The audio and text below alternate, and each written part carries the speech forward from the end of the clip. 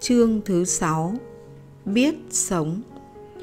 Trang tử nói, Khôn chết Dại chết, Biết sống. Người chúng ta thường nói, Khôn sống, Mống chết, Mới nghe không thể nghi ngờ gì nữa được. Nhưng nếu nghĩ cho sâu, Xét cho rộng, Ta sẽ thấy, Chưa ắt khôn là sống Mà dại là chết khôn mà khôn như hàn tín dương tu, thì làm sao mà sống được? Còn dại mà dại như phạm lãi, tử phòng thì làm sao mà chết được? Cho nên, bàn đến khôn, dại thì chưa biết lấy gì làm chuẩn đích. Trang tử cùng đệ tử đi chơi trên núi, thấy một cây to, cành lá rườm rà. Một tên thợ rừng đứng bên nó mà không đốn. Hỏi tại sao? Nó nói. Không dùng đặng nó chỗ nào hết. Trang tử nói, cây này vì bất tài mà đặng sống lâu.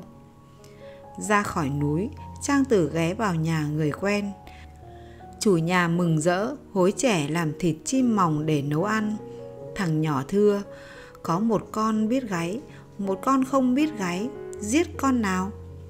Chủ nhà nói, giết con không biết gáy. Bữa sau, đệ tử hỏi Trang Tử, hôm qua cái cây trong núi vì bất tài mà sống, còn chim mỏng vì bất tài mà chết. Giá như thầy phải xử trí như thế nào? Trang Tử cười nói, tài và bất tài cũng như nhau, đều là quấy cả, nên không thể tránh khỏi lụy thân, chỉ có kẻ nào biết là sống mà thôi. Khôn, chết dại, chết, biết sống, biết lúc khôn, biết lúc dại, nghĩa là biết thời, biết thế. Trung quy chẳng qua biết rõ một chữ thời. Lão Tử nói, thông minh duệ trí, thủ chi dĩ ngu, dũng lực chấn thế, thủ chi dĩ khiếp. Mình là bậc thông minh, trí thức sâu sắc nhất, hãy biết làm như kẻ ngu khờ, mình là bậc dũng lực kinh người, hãy biết làm như kẻ nhút nhát. Nào đâu có bảo mình phải là đứa ngu, sự thật là mình phải thật thông minh. Vì chỉ có kẻ thật thông minh mới biết lúc nào nên làm như kẻ ngu được mà thôi. Lữ khôn nói, thông minh người ta ghét, thông minh mà biết làm như ngu mới thật là khôn kín nhưng biết được chữ thời đâu phải dễ gì. Thái quá là dở mà bất cập cũng không hay.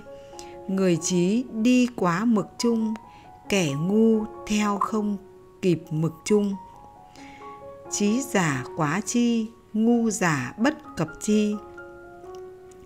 Phần đông chỉ biết tiến mà không biết thối, chỉ biết giữ cho còn mà không biết làm cho mất chỉ biết lấy cho được mà không biết bỏ đi.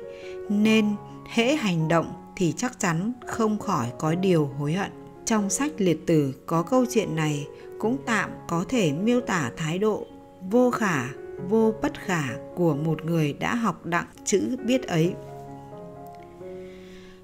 Tử hạ hỏi khổng tử, nhan hồi là người thế nào?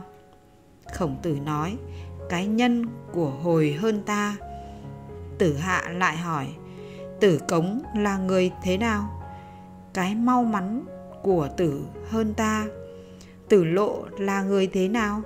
Cái dũng của do hơn ta, tử trương là người thế nào? Cái vẻ trang nghiêm của sư hơn ta.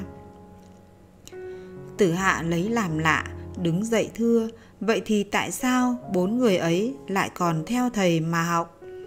Khổng tử nói ở đây ta bảo cho, hồi chỉ biết nhân mà không biết lúc bất nhân. Tử chỉ biết mau mắn mà không biết lúc chậm chạp. Do chỉ biết hùng dũng mà không biết lúc nên nhút nhát. Sư chỉ biết trang nghiêm mà không biết lúc ung dung để hòa đồng với mọi người. Nay gồm tất cả những cái hay của bốn người ấy có mà đổi với cái ta có, ta không đổi bởi vậy, họ phải thờ ta làm thầy mà không hai lòng. Biết đây là biết tùy lúc mà biến thông cho hạm thời chúng tiết. Nếu chỉ biết khư khư một mực, giàu hay đến đâu cũng hỏng việc. Mạnh tử bảo, sở ố chấp nhất giả, vị kỳ tặc đạo, cử nhất nhi phế bách. Cái đáng ghét trong sự chấp nhất là vì nó làm hại đạo làm được một việc mà hư cả trăm việc. Trọng hệ nhất trong đạo xử thế là biết biến. Vì có biến mới có thông có thông mới lâu bền được. Cái nghĩa của chữ tùy thời lớn vậy thay.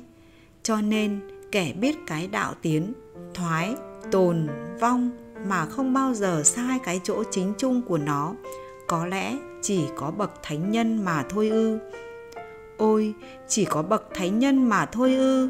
Vậy mà bậc thánh như khổng tử lại còn phải than, vi nhân nan, vi nhân nan. Thế mới hay, ở đời không có cảnh ngộ nào dễ xử.